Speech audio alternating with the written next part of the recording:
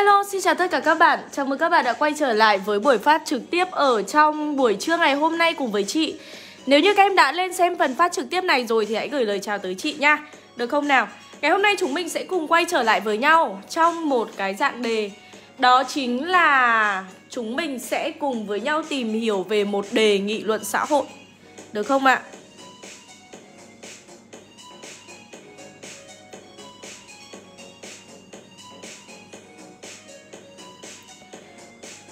Nếu như các bạn lên rồi thì hãy gửi lời chào tới chị nhá Được không? Rồi đồng ý, xin chào các em, chào buổi trưa các bạn. Xin chào các em, chào buổi trưa các bạn nhá Ok, xin chào. Rất là nhiều bạn đã lên xem phần phát trực tiếp trong buổi trưa ngày hôm nay cùng với chị rồi. Và chị rất vui vì điều đó. Cảm ơn các bạn vì đã dành thời gian của mình cho chị. Ngày hôm nay chúng mình sẽ cùng với nhau tìm hiểu về một cái đề bài liên quan tới đoạn văn nghị luận xã hội 200 chữ. Đồng ý không ạ? Rồi, sẽ cùng đợi khoảng 200 bạn thì chúng mình sẽ bắt đầu nhá Được không? Ok không nào? Thời gian này có những bạn đã được nghỉ ở nhà để học online rồi Thì nó sẽ là cái cơ hội rất là tốt để chúng mình ôn tập đấy Các bạn cố gắng lên nhá, được không? Rồi, xin chào các em, xin chào các bạn, xin chào các bạn nha Ngày hôm nay chúng mình sẽ cùng với nhau tìm hiểu một cái đề nghị luận xã hội Mặc dù là câu nghị luận xã hội trong đề thi Trung học Phổ thông Quốc gia ấy Chỉ chiếm có 2 điểm thôi nhưng bản chân chị thì nghĩ rằng là hai điểm này là hai cái điểm rất là quan trọng đấy, Nhá. Hai điểm này là hai điểm rất là quan trọng đấy. Ok không nào, Nên là ngày hôm nay thực thực chiến vào vấn đề Lại tạm các âu lo bên chị Hiên à? Đúng rồi, chuẩn chuẩn chuẩn. Chuẩn luôn chuẩn luôn. Rồi, xin chào các em, Xin chào các bạn nha. Xin chào các bạn, Xin chào các em. Chúng mình sẽ có một cái đề bài dành cho ngày hôm nay nhé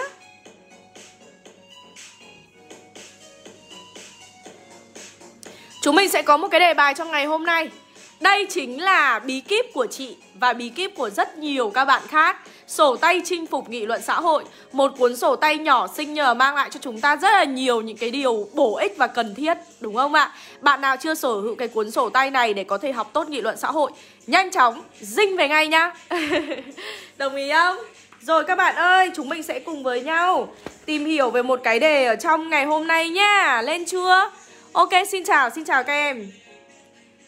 Không biết là các bạn đã biết thông tin này chưa? Nhưng mà cái ngày mà chúng mình dậy sớm học văn cực kỳ đến gần Đến ngày càng ngày càng gần rồi đấy. Các em chú ý hộ chị cái đừng để đừng để bị lỡ mất nhá. Đừng để bị lỡ mất Được không nào? Ok, xin chào các bạn, xin chào Hữu Bình. Rất là nhiều bạn đã gửi lời chào tới chị rồi mà chị chả biết là ừ, chào ai bây giờ trước cả. Nhiều bạn quá đi mất. Rồi Quay về em biết nơi phải đi. Anh biết chỗ chú chân dọc đường để tránh cơn mưa. Các bạn thân mến, ngày hôm nay À khi nào chị có khóa học cho 2K4 Thực tế là bây giờ chị đã đang khởi động khóa học đầu tiên cho 2K4 rồi được không ạ?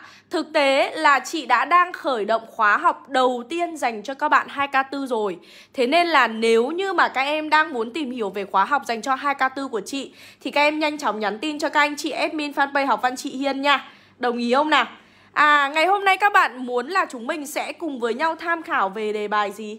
À, chị nói thế thôi Chứ còn chị sẽ là người lựa chọn mà Rồi, nay em vừa đi thi về à? Ôi, có làm được bài không em? Làm bài tốt chứ? À làm bài tốt chứ? Ờ ok được được được. Rồi à, Nói chung là cứ cố gắng hết mình nhỉ? Cứ cố gắng hết mình nhá. Đồng ý không? Rồi xin chào các em, xin chào các bạn, xin chào các bạn, xin chào các em, xin chào các bạn nhá. Rất là nhiều bạn đã lên xem phần phát trực tiếp này cùng với chị rồi. Ok, đồng ý. Bây giờ thì chúng mình sẽ cùng bắt đầu bài ngày hôm nay với nhau nhá. Đề bài của chúng mình dành cho các bạn như sau nhá, Đề bài dành cho các bạn như sau Chị hy vọng là các em cũng sẽ làm cùng với chị nhá, Chị hy vọng là các bạn cũng sẽ làm cùng với chị Đồng ý không? Ok không ạ? À? Chị hy vọng là các bạn cũng sẽ làm cùng với chị Chúng ta sẽ có một cái đề bài rất đơn giản cho ngày hôm nay Đó chính là, Anh chị hãy viết một đoạn văn 200 chữ Trình bày suy nghĩ của mình Về vai trò của nghị lực trong cuộc sống được không ạ? À? Về vai trò của nghị lực trong cuộc sống Được chưa nào? Viết một đoạn văn 200 chữ trình bày về vai trò Của nghị lực Vai trò của nghị lực trong cuộc sống Các bạn ơi, đây là một cái đề mà chị phải khẳng định một điều rằng nó rất là gần với cả đề thi Trung học phổ thông quốc gia của chúng mình. Bởi vì sao? Đề minh họa hôm vừa rồi ấy là cho đề bài là à vai trò hay là sức mạnh của tình người trong hoàn cảnh khó khăn thử thách đấy. Tức là đa số bây giờ đều là dẫn vào những cái vấn đề trực tiếp. Thật ra thì bản thân chị nghĩ là như thế này nhá. Đôi khi ấy, ôi nay em thi nghị luận xã hội đề y chang luôn á. Thương thật sự luôn đấy. Trời ơi là trời Khủng khiếp khủng khiếp. Các em ơi các bạn đi dạo này thỉnh thoảng hay nhắn tin về cho chị đề lắm Hay, hay nhắn tin về cho chị lắm. Bảo chị là Chị ơi em nghe nói thấy bảo là chị đoán đề chuẩn lắm đúng không chị? Không nhưng mà chị bảo là chị chẳng bao giờ chị dám tự nhận cái điều đấy cả. Chị nói thật là như vậy. Ở đây chỉ là những cái vấn đề mà chị cảm thấy là nó cần thiết Thì chị giảng cho các bạn thôi Chị hướng dẫn với các bạn thôi. Vấn đề là như thế nhá. Thế bây giờ quay trở lại này Các bạn ơi. Trước tiên, chúng ta sẽ chú ý giúp cho chị là đề bài của chúng mình ở đây là vấn đề cần nghị luận đó chính là vai trò của nghị lực. Ok chưa? Chúng ta sẽ có hình thức của mình đó chính là hình thức đoạn văn 200 chữ. Hình thức đoạn văn 200 chữ. Ok chưa ạ? Hình thức đoạn văn 200 chữ Vậy là khi mà các bạn ôn ý, Thì các bạn sẽ chú ý giúp cho chị là Khi mà chúng mình luyện viết về nghị luận xã hội, Chúng mình nên ấn định luôn Là cái khoảng dung lượng chúng mình cần viết là bao nhiêu Ok không ạ? Chúng mình sẽ xem là cái khoảng dung lượng chúng mình cần viết là bao nhiêu luôn Để chúng mình kiểu co dần co dần lại ấy. Bởi vì ấy, có nhiều bạn gặp trường hợp là viết dài kinh khủng khiếp luôn Mà không thể nào sửa được cái tật đấy. Chỉ có một cách duy nhất là bây giờ chúng mình sẽ phải tập trung vào việc Là co lại về cái khoảng gì ạ? Dung lượng mà chúng mình viết nhá. Thì chúng mình sẽ đánh dấu trước luôn đi. Đồng ý không nào? Rồi, đồng ý nhá. Bây giờ chúng ta sẽ cùng nhau viết bài này nhá. Bài làm bài làm. Chúng mình cứ viết đúng theo cái bố cục mà chị đã hướng dẫn cho các bạn thôi nhá. Chúng mình cứ viết đúng theo cái bố cục mà chị đã hướng dẫn cho các bạn thôi. Ok chưa nào? À, có rất là nhiều cách mở bài. Mở đoạn, chị xin lỗi. Có rất nhiều cách mở đoạn. Nhưng hãy nhớ rằng Chị luôn nói với các bạn là phần mở đoạn chúng ta nên đi một cách trực tiếp. Và điều quan trọng nhất của chúng mình là chúng ta phải dẫn được vào vấn đề nghị luận phải dẫn được vào vấn đề nghị luận thì chúng mình mới có điểm được. Chị nói luôn với các em là như thế. Chúng mình phải dẫn được vào vấn đề nghị luận thì các bạn mới có điểm được. Tức là phần dẫn vào vấn đề nghị luận này chính là cái phần quan trọng nhất. Đồng ý không ạ? Đây chính là phần quan trọng nhất. Và cái phần dẫn dắt để đi vào vấn đề nghị luận ấy Các bạn chỉ nên dùng 1 đến 2 câu thôi. Chứ đừng có dài dòng viết 5, 7, 10 câu chưa xong được cái mở đoạn.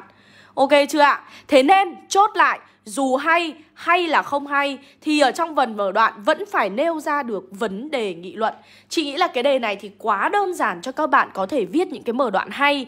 Chị sẽ đưa cho các bạn một số những cái mở đoạn đơn giản mà các bạn có thể dùng nhá. Ví dụ, ở trong cuốn này được không ạ? Đây là một cái cuốn sổ tay bao gồm có 60 đề văn tham khảo. Thêm vào đấy còn có cả phần phương pháp và phần dẫn chứng nữa Thì một lát nữa chị sẽ hướng dẫn các bạn sử dụng cái cuốn này luôn. Hai Các bạn 2K4 Ai mà chưa có cuốn này nhanh chóng dinh về để năm nay học nghị luận xã hội ngay từ đầu năm một cách dễ dàng luôn. Chứ đừng có chờ đợi làm gì cho nó mệt mỏi cả nhá. Còn 2K3 sắp thi rồi chưa có cuốn này cũng phải dinh về ngay nhá. Ngay và luôn, ngay và luôn các em ạ. à. Rồi đây, chúng ta sẽ có một cái cách mở đoạn đơn giản như thế này. Đây ạ. À. Trong cuộc đời của mỗi con người, chắc hẳn ai cũng sẽ phải trải qua nhiều sóng gió và thử thách.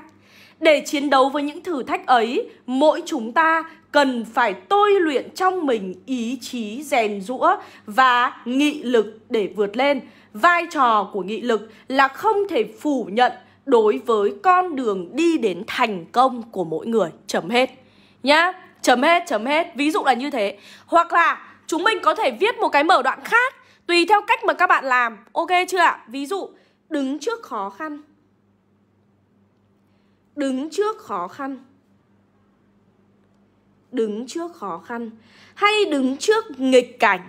Được không ạ? Rồi Có người cúi đầu bỏ cuộc. Có người cúi đầu bỏ cuộc được không ạ? À? Người khác lại ngẩng cao đầu. Người khác lại ngẩng cao cao đầu tiến lên.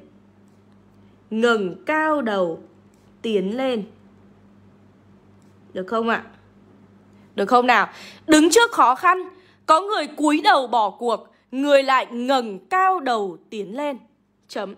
Khi ấy khi ấy ta mới biết được. Ta mới biết được. Vai trò to lớn của bản lĩnh.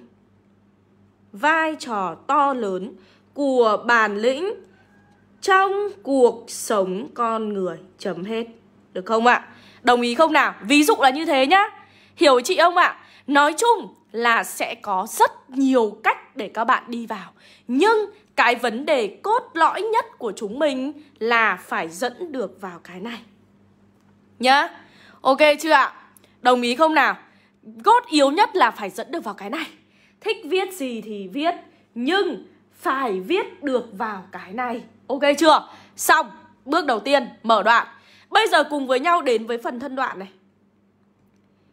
đến với phần thân đoạn nhé đến với phần thân đoạn thì các em ơi ở trong sổ tay chinh phục nghị luận xã hội ở phần phương pháp đã đưa ra cho chúng ta về cách để chúng ta có thể viết phần thân của đoạn văn nghị luận xã hội rồi.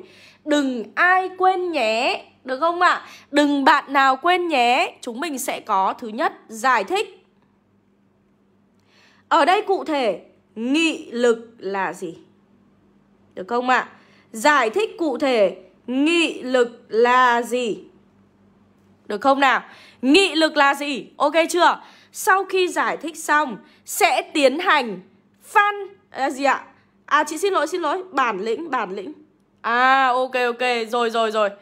Đồng ý đồng ý. Trời ơi, trời ơi là trời. Tại sao mà chị lại cứ Rồi ok chị xin lỗi nhá. Nghị lực nghị lực nghị lực, được không ạ? Đấy các em ơi, đầu óc vẫn cứ đang nghĩ về bản lĩnh các em ạ. À. Đầu óc vẫn cứ đang nghĩ về bản lĩnh. Đồng ý không? Rồi, đây, quay trở lại đây rồi nhá. Nghị lực là gì? Chúng mình sẽ giải thích nghị lực là gì. Đồng ý không ạ? À? Sau khi giải thích nghị lực là gì xong, các bạn sẽ tiến hành phần phân tích và bàn luận. Nhá. Chúng mình sẽ tiến hành phân tích và bàn luận. Ok chưa nào? Ở trong phần phân tích và bàn luận này, các bạn sẽ trọng tâm đi trả lời cho chị câu hỏi mà ở trên cái đề bài người ta đưa ra. Đó chính là vai trò của nghị lực trong cuộc sống như thế nào vai trò của nghị lực trong cuộc sống là như thế nào hãy lưu ý giúp chị này đây là chúng ta đang viết theo hình thức đoạn văn Thế nên các bạn sẽ không thể nào có nhiều thời gian để các bạn nghĩ về những cái xung quanh, mà chúng mình sẽ chỉ đi trả lời cho trọng tâm câu hỏi đề bài đưa ra thôi. Hãy lưu ý giúp chị là chúng mình sẽ chỉ đi trả lời trọng tâm cho câu hỏi đề bài đưa ra thôi. Đồng ý chưa nào? Nhá. Thì bây giờ có phải là trên đề bài đưa ra câu hỏi cho chúng mình là vai trò của nghị lực trong cuộc sống không? Thế thì rõ ràng là ở trong phần phân tích và bàn luận này, các bạn phải trả lời được cho gì ạ? Dứt khoát và rõ ràng cái câu hỏi đấy. Đồng ý không nào? Sau đó thì chúng mình sẽ đưa ra dẫn chứng, hay nói cách khác là tiến hành chứng minh. Phần này tôi sẽ đưa ra dẫn chứng, lựa chọn một cái dẫn chứng phù hợp với đề bài để đưa vào. Thì các em ơi, ở trong cuốn sổ tay chinh phục nghị luận xã hội này có rất là nhiều dẫn chứng Kể cả là cả những dẫn chứng liên quan tới những vấn đề đang nhức nhối trong một năm vừa qua. Ví dụ như đại dịch Covid này, nói về hình ảnh của tấm gương người tốt việc tốt này Hay là kể cả đợt mưa lũ miền Trung xảy ra trong năm qua cũng đều được ghi lại ở trong này với những cái phần dẫn chứng Để các bạn có thể sử dụng ngay và luôn nhá. Để các bạn có thể sử dụng ngay và luôn. Ok chưa nào? Thì ở đây ví dụ chị quyết định là chị sẽ lấy lấy dẫn chứng về chàng trai đặc biệt nhất hành tinh Đó chính là Nick Vui Trích chẳng hạn Được không ạ? À? Ví dụ chị lấy ở đây được không nào? Em khó lấy dẫn chứng lắm Thế thì chắc chắn là phải sắm cho mình cái cuốn sổ tay để có một cái bộ dẫn chứng luôn thôi em ơi Nhá Và mình sẽ sưu tầm thêm dẫn chứng nữa Đồng ý chưa? Rồi, ở đây ví dụ chị lấy cái chàng trai đặc biệt nhất hành tinh Đó chính là Nick Vui Trích được không ạ? À? Ví dụ là như vậy Nhá, một lát nữa chị sẽ nói kỹ hơn về cái phần này Sau khi chứng minh xong Đương nhiên là các bạn sẽ phải tiến hành liên hệ bản thân tiến hành liên hệ bản thân Tức là ở phần trên, tôi đã làm sáng tỏ mọi cái vấn đề rồi Vậy thì, sau khi mà hiểu về vai trò của nghị lực, Sau khi nhìn thấy những cái tấm gương về nghị lực Và bảo vệ quan điểm rằng nghị lực là một trong những cái đức tính cần có ở mỗi con người để có thể đi đến thành công, Vậy thì bản thân anh chị cảm thấy như thế nào? Bản thân em cảm thấy như thế nào? Hiểu chị chưa? Nhá À làm sao để viết đẹp như chị ạ à? Chữ chị bình thường mà, đẹp lắm đâu Chữ chị bình thường, Không đẹp lắm Nhưng mà ngày xưa hồi tiểu học cũng được đi thi viết chữ đẹp đấy Rồi, Nói chung là luyện tập nhiều thôi em ạ à. Bản thân chị nghĩ rằng là mình đã viết được một cái bài văn hay ấy, thì mình cũng muốn là là cái cái cái trình bày của mình cũng sẽ kiểu đẹp một chút. Thế nên là cũng nên rèn chữ nhá, để cho chữ viết của mình thoáng này, nhìn dễ đọc này, và tạo được thiện cảm đối với người chấm bài của các em nữa nhá. Rồi, thì đấy là chúng mình sẽ liên hệ bản thân, thì tức là đi trả lời cho câu hỏi. Sau khi làm rõ về vai trò của nghị lực xong, đưa ra dẫn chứng để chứng minh xong, thì chúng mình sẽ liên hệ bản thân, tức là bản thân của chúng ta rút ra được bài học gì và cuối cùng kết đoạn Các bạn làm giúp chị đưa ra giúp chị một cái thông điệp có ý nghĩa đến với mọi người nhé Nhưng đương nhiên cái thông điệp này cũng vẫn phải xoáy sâu về gì? Về vai trò của nghị lực Về gì ạ? Tầm quan trọng của nghị lực Đồng ý chưa? Nhá Rồi, bây giờ thì chúng mình sẽ cùng với nhau tìm hiểu về một cái đoạn văn 200 chữ tham khảo cho chúng mình như sau Được không ạ? Cuốn này thì hiện tại đang có giá là 149.000 các em nhé rồi các bạn ơi, đây chúng mình sẽ có một cái đoạn văn tham khảo như sau nhá, như thế này. Đứng trước khó khăn, có người cúi đầu bỏ cuộc, có người lại ngẩng cao đầu tiến lên. Khi ấy, ta mới biết được vai trò to lớn của nghị lực trong cuộc sống của mỗi con người. Nghị lực Nghị lực được hiểu là sức mạnh dám đương đầu với mọi phong ba bão tố trong cuộc sống kiên trì vượt qua thử thách để chạm đến thành công. Xong, giải thích xong Chỉ đúng một câu ngắn gọn thôi. Bởi vì chị đã nói với các em là cái phần giải thích này ấy Nó không phải là cái phần quan trọng nhất Ở trong đoạn văn nghị luận xã hội đâu. Mà cái phần quan trọng phải là cái phần phân tích và bàn luận này. Phải là cái phần chúng ta đưa ra dẫn chứng để chứng minh này. Phải là cái phần chúng ta rút được cái bài học gì cho bản thân chúng ta Và chúng ta gửi gắm một cái thông điệp ý nghĩa đến với mọi người cơ. Hiểu ý chị không nào? Nhưng cái phần giải thích này lại là cái phần cần. Giống như cái việc là khi mà các em muốn đưa ra quan điểm của mình về một vấn đề Thì trước tiên các em phải trình bày xem vấn đề đấy là vấn đề gì đã chứ? Hiểu ý chị không ạ? Thì ở đây, giải thích đóng vai trò như vậy đấy các bạn ạ. Giải thích đóng vai trò như vậy đấy, nhá. Thế nên chúng mình sẽ chỉ cần ngắn gọn thôi, Từ 1 đến 2 câu thôi. Và các em cũng đừng nghĩ rằng mình sẽ phải là một nhà khoa học hay mình sẽ phải là một người tinh thông mọi vấn đề? Và mình phải giải thích mọi vấn đề đấy nó một cách thật là khúc chiết ư? Phải là thật là chính xác từng từ, từng chữ ư? Nhưng mà thật ra cái vấn đề là, thật ra cái việc nêu ra giải thích vấn đề đó là gì ở đây cũng là tùy thuộc vào quan điểm của các bạn mà. Thế nên định nghĩa về một vấn đề thì mỗi người sẽ có một cái định nghĩa riêng. Nhưng đương nhiên chúng ta vẫn phải trong mạch của cái đó, chứ không thể nào lạc quẻ sang hẳn một phía được. Hiểu ý chị không ạ? Thì đấy là giải thích nhá. Bây giờ bắt đầu phân tích như sau có thể trong thời khắc nào đó, với sự cố gắng hết mình, nhưng bạn không được đáp trả xứng đáng, đừng vội nản chí. Bởi sau mỗi vấp ngã, ta sẽ mạnh mẽ hơn và chắc chắn những lần tiếp theo chẳng còn điều gì khiến cho ta phải chùn bước. Nghị lực chính là động nghị lực đe làm gì ạ? Nghị lực đóng vai trò là động lực thôi thúc ta tiến lên Đồng thời cũng là đích đến cho những ai còn đang nản lòng, dễ bỏ cuộc với thách thức trước mắt.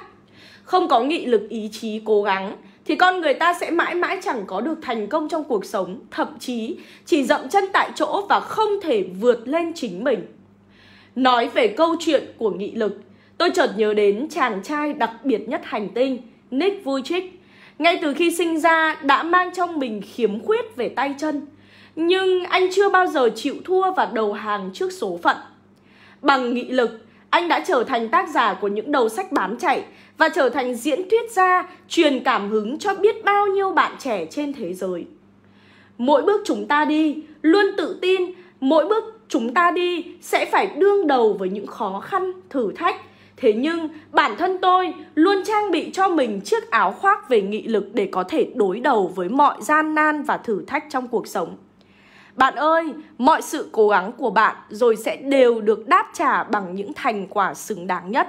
Thế nên đứng trước dông tố, thử thách khó khăn, đừng nản lòng, nghị lực sẽ đem đến cho chúng ta những thành công tuyệt vời trong cuộc sống. Ví dụ là như vậy. Hiểu ý chị không ạ? Nhá. Hiểu ý chị là như thế, hiểu ý chị không nào? Thì đấy là một cái đoạn văn khoảng 200 chữ thôi Để các bạn có thể tham khảo Đương nhiên là dựa vào cái đoạn văn này Các bạn có thể triển khai thành rất là nhiều những cái đoạn văn khác nữa Và nói về nghị lực, được không ạ? Được không nào? Còn lại đấy chỉ là một cái đoạn văn th bản thân chị đánh giá Ok, đồng ý, đồng ý nhá, đồng ý Sẽ có rất là nhiều cách viết khác nữa Chúng mình sẽ không thể nào quy chụp ở trong duy nhất một cách viết được không nào? Sẽ có rất nhiều cách viết khác nữa Thế nên chị muốn rằng dựa vào cái phần gợi ý ngày hôm nay của chị Các em sẽ có được một bố cục rõ ràng cho cái dạng đề ngày hôm nay này Và các bạn có thể luyện tập viết để mình có thể viết được những cái bài văn Những cái đoạn văn hay nhất Ok chưa? Đồng ý không nào? Rồi, còn lại thì buổi trưa ngày hôm nay có lẽ là chị sẽ dừng với các bạn ở đây thôi. Chúng mình đã hoàn thành xong cái đề nghị luận xã hội ở đây rồi. Được chưa ạ? Nhá, chúng mình đã hoàn thành xong đề nghị luận xã hội ở đây rồi. Và nếu như các bạn thực sự muốn học tốt cái câu này Thì các em có thể tham khảo cuốn này nhá. Đồng ý không ạ? Sổ tay chinh phục nghị luận xã hội với lời nhắn nhủ. Hãy hướng về phía mặt trời bóng tối sẽ ngả lại phía sau bạn. Và chẳng có ai, à chưa ai chết đuối trong mồ hôi của chính mình cả. Chị cảm ơn các bạn rất nhiều vì đã dành thời gian cho chị trong buổi trưa ngày hôm nay. Và hẹn gặp lại các bạn ở trong buổi trưa tiếp theo với những đề nghị luận xã hội tiếp theo nhé. Xin chào và hẹn gặp lại các bạn. Bye bye!